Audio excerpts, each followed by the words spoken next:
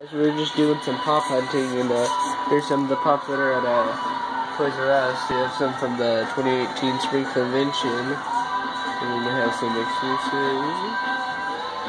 Minecraft's uh, Enchanted Armor Steve, and then a bunch of Teledaber, He-Man, uh, rock candies, and whatever.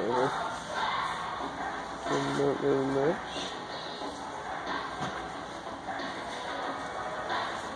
There's the pumpkin one. There's a bunch of Disney Hubert, that's kind of cool. Got a little bit right there. And too bad we already have it, or that'd be cool find. There, here. We have the 8-bit Xenomorph.